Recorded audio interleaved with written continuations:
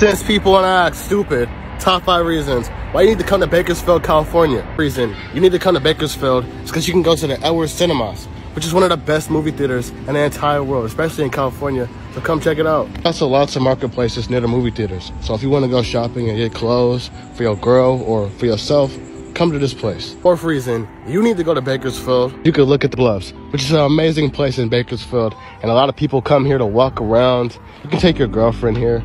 There's a lot of things you could do. The third reason you need to go to Bakersfield is because they have the Valley Plaza, which is one of the best malls in California. They got a shoe palace. Second reason you need to come to Bakersfield is because Bakersfield is a lot cheaper compared to many other cities in California and it's a lot safer. So definitely come to Bakersfield. And final reason you should come to Bakersfield, you can go to downtown's Bakersfield. There's many hoods outside of this area. There's many clubs and parties you can go to and there's many businesses and opportunities here. So definitely come to Bakersfield.